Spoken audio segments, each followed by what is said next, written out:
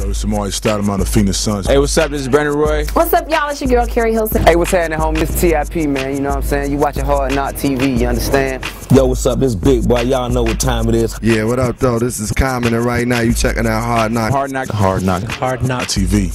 Watch it or watch nothing. Ooh, wee. It's velvet hoop, wristband full of loot, right next to my shoe.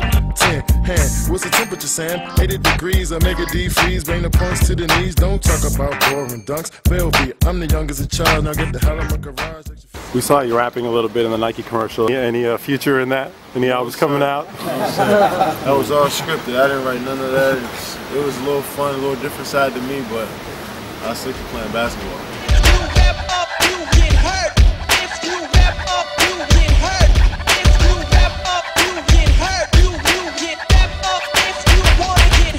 Do you have specific music or something you turn to to get amped up before a game? I listen to a lot of slow jams. Might seem weird, might seem weird, but I listen to a lot of slow jams. And Old school or new school? What kind of slow jams? old school and new school. Usher, um, Smokey Robinson, guys like that. Me, I don't know why it gets me amped up, but it gets me ready to play. And um, you know, if I listen to rap, I think I play bad every time I do that. Find me in the streets, even in the drought. My mattress is full.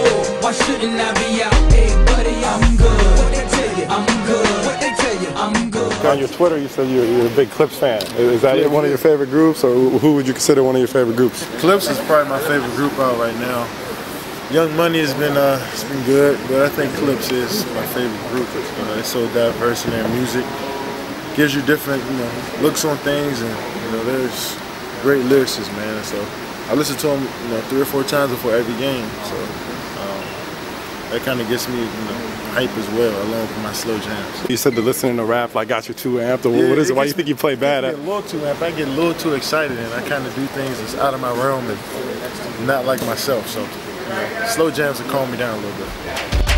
Hey, what's happening, homie? This TIP, man. You know what I'm saying? You watching Hard Knock TV, you understand? Accept no substitutions, you dig?